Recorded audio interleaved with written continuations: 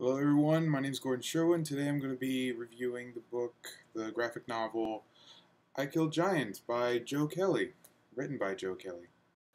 I start off by saying that Joe Kelly was originally, um, he worked with Marvel and DC, and uh, he did works like Superman, uh, Marvel, he did Spider-Man, Deadpool, um, and this is one of his um, indie builds that he worked with Ken Niimura there's not much info about Ken Niimura other than he did another uh, graphic novel by himself.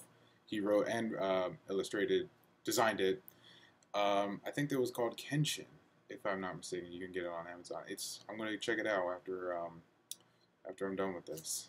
Well, I Kill Giants is um, published by Image Comics, uh, which I I enjoy the Image comic books um, tremendously. So I found it there, and I, I got interested just by just by the cover. To be honest, I mean, I, I enjoy the art style like anyone else.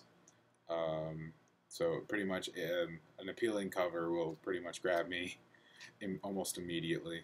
Well, um, this is the soft cover for I Kill Giants, and it's not as thick as the hardcover. The hardcover actually has around 300 pages um, this one's only um, 184 plus the behind the scenes stuff.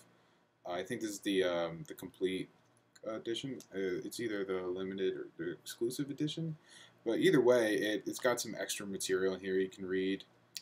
Um, I, I, enjoy the little back stuff. Uh, pardon the ripped cover, um, but um, exclusive stuff, just like extra extra images um, more about the author. I enjoy this one more than the other one since I really do want to get in the comic industry.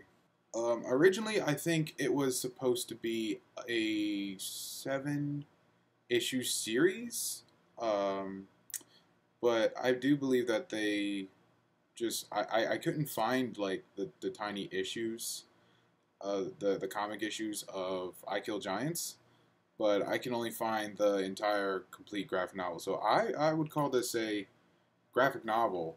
It, it feels like a whole story. Um, if even if it wasn't issues, it's down. It's it's made um by it's made with chapters instead. It doesn't say like issue the next issue when you go to turn a page. It'll say something like if I can find one.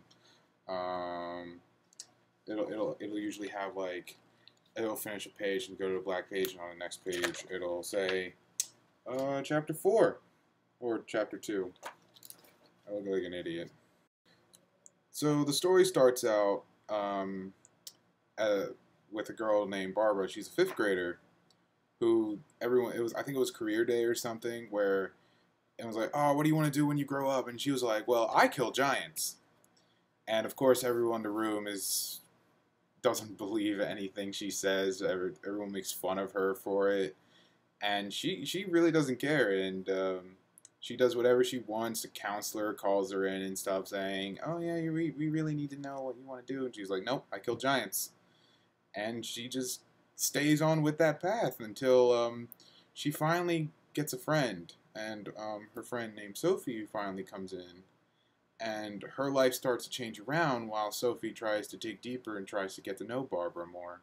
So apparently, as Sophia tries to dig deeper into uh, Barbara's life, realize that she's hiding a lot of things. Apparently, she's hiding a lot of stuff that the that Sophia thinks that this giant thing is actually just something she's escaping from.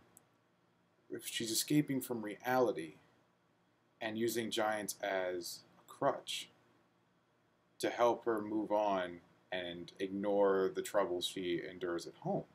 So Sophia plays along with her with Barbara's little game, and she comes to find out that Barbara doesn't have any friends.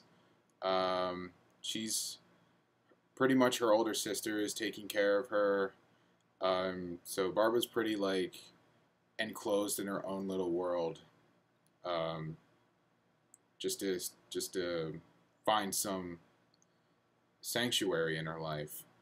But later, um, after Barbara is getting picked on again, the giant thing ended up kind of being a big deal and real. And uh, there's some really neat action scenes in here. Um, I, I know that there's a lot of like two page spreads. There's a lot of splash pages in here.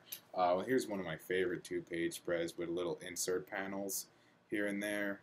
Um, but um, it's it's really really in depth with these two page spreads and uh, splash pages, which which makes it really cool to just watch. Um, they do it nicely too. Um, usually you don't get them until like um, until you flip the page over, but I think it was meant for the hard co- uh, cover copy because there are some scenes in here where you do get that splash page on like the right side of the book, and you're like, sometimes your eyes wander off, and it's like, uh, and then you get you get lost. But it's not in too big a deal. I can show you an example in a bit. Here's a scene that uh, follows the tie correctly, where we see Barbara like shocked because she said something. Uh, the counselor said something that surprised her, and on the next page, um, she pretty much just slaps the school counselor in the face for, uh, I guess, she said something she wasn't supposed to. Uh, here's a bad example.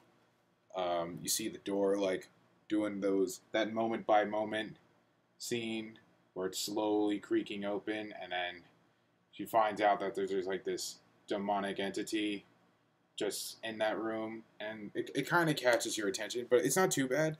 The darkness in that page, like, kind of like blurs it out, where I'm like more attracted to the, the white, the light side of the page.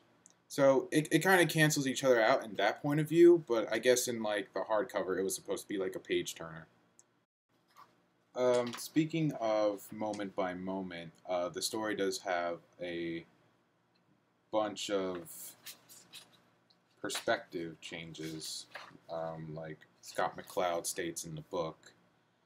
Um, there are a lot of action to action uh, panel transitions um, since it's such a action heavy book where Barbara's like hitting up a giant, or maybe she's slapping into the school counselor again.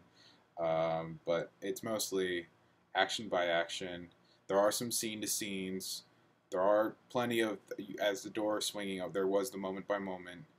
Um, I'm pretty sure there's not much um, non-sequential. Is that sequitur? There's eh. What's how do you say it? You know what I'm talking about.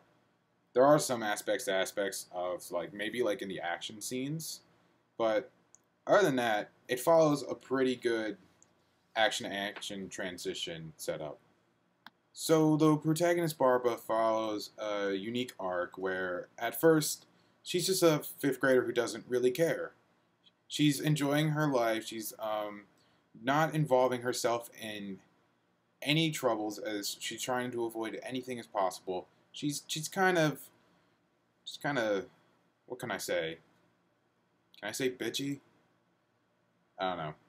But later, after she meets Sophia, she, she kind of turns around a bit. She opens up a lot, and she there are scenes where it, it emotionally hits you as the reader, like, wow, she's hiding so much for just for a little girl her age and her at the end she she's more open. She's pretty much finds a console and her new friends. Even the the guidance counselor she smacked the hell out of. But a lot a lot of things did change her in the end. And i, I feel that the story has a really unique and complete.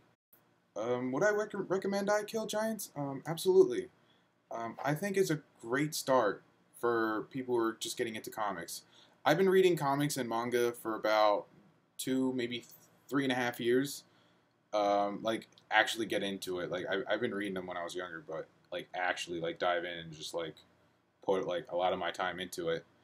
Um, this one's easy on the eyes, where in like superheroes um, comics you'll see like blam out and like there's a lot of stuff going on and you can't really you can't really keep an eye on the read. This one this one doesn't really focus on the art as much. Um, and it focuses a lot more on the story. So it's an it's and it's not that long either. It's a beginning to end story. Um, yeah, I'd recommend this to both friends, family, uh, my fellow students who are watching this. Uh, it's a great read. I can read um, can read it in one day. Um, it's not that expensive. It's Joe Kelly, so if you do like Deadpool, Spider Man, Superman, like he did, he did everything. Um, it's one of his indie works. Get to know his indie works; they're actually pretty nice. Uh, sorry, I didn't really showcase the book that much. I'm not really um, the type of guy who, if you're if you're watching this and you never read it before, I, don't like to spoil things that much. So I'm sorry if um, you actually wanted to see a little more of the book.